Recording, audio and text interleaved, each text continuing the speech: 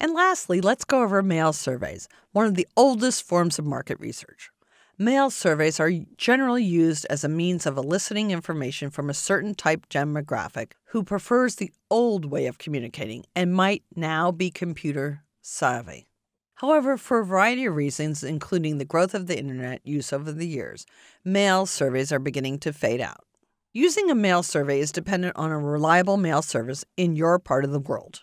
Given that to deliver a quantitative survey by mail, you would make sure the survey is designed in a way that it stands out and is very attractive, has a self addressed stamped return envelope, provides some sort of incentive or contribution to a charity has reminder postcards sent with a deadline clearly marked.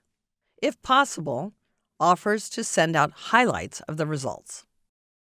The costs involved in using the mail for your survey include cost for paper, cost for printer, cost for postage, cost for stuffing surveys and getting them mailed, cost for opening and keeping track of responses, cost for data entry into a computer database. There is a trend for using a mixed method approach where people are notified by mail about an upcoming survey and then given the option of completing the survey online or by mail. I have had several instances of this type of approach through healthcare research with a satisfaction survey following a doctor's appointment that arrives at my residence. I often get notice of the survey via email as well. According to published journal research that compared mail and web surveys in the nonprofit sector, the mail survey achieved a significantly higher response rate than the web survey, and data obtained from the mail survey produced a higher internal consistency than that obtained from the mail survey. Lynn Risen, 2011.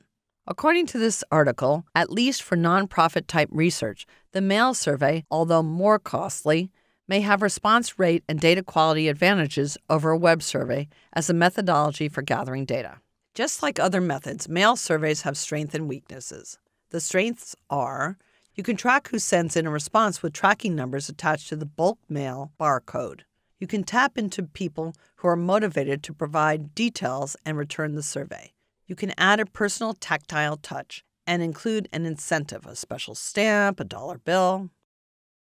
The weaknesses are the process is time consuming. People tend to procrastinate so it's difficult to get them to return the survey. Hence, response rate tends to be lower than other methods. You have no control over how people answer the questions.